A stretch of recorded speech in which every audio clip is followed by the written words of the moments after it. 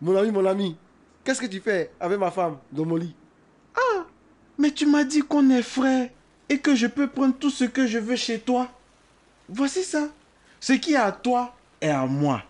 Donc, c'est notre femme, non?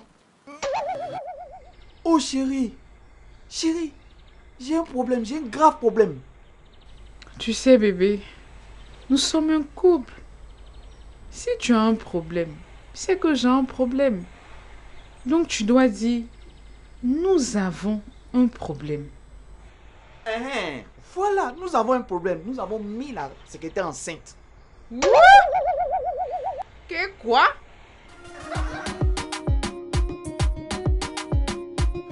Bonjour mon voisin. J'espère que tu vas bien. Vous êtes occupé ce soir? Euh... Non, non, non. Ah, ça tombe bien. J'ai une folle envie de m'amuser, de me saouler et de faire bien d'autres choses bien conquines. Ah, Oui, oui, oui, oui. Aïe, ça là. hmm, moi, je suis prêt pour toi-même. Maintenant, la même. Hmm. Eh, voisin. Ah, c'est pour que tu gardes mes enfants, oh.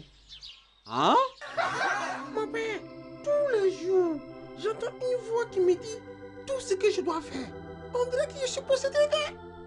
Non, mon fils, tu es marié.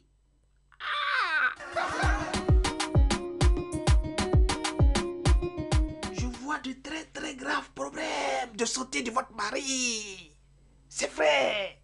Vous voulez dire des problèmes qui peuvent aller jusqu'à la mort?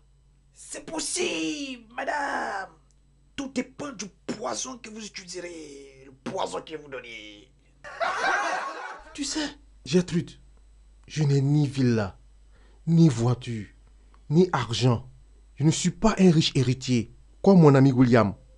Mais je t'aime de tout mon cœur. Ouh, vraiment chérie?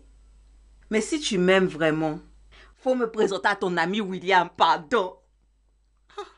Mais tu fais quoi de mon amour? Tu as dit tu m'aimes, faut me présenter ton ami William, on va quitter ici. Ah Femme,